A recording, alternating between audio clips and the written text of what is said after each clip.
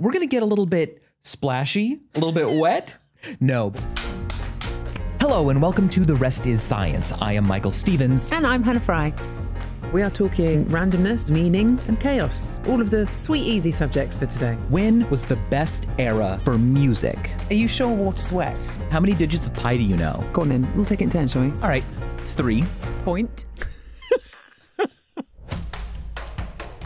Almost certainly we're drinking dinosaur pee. Oh, almost certainly. I'll be honest with you, every jar you've ever had has probably got some dark matter in it. I'm working on a theory that consciousness itself comes about because the universe has no meaning.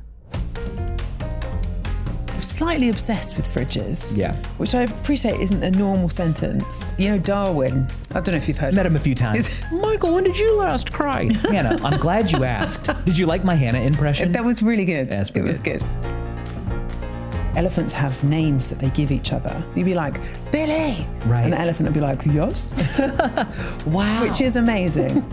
cute. If you win, do we split the. No. I mean, I'm a schnit cookie.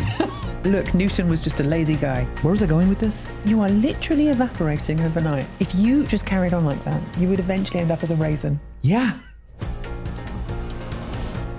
You are honestly the exact right amount of weird. I don't really see what's so weird about that. I guess on that note, we'll finish.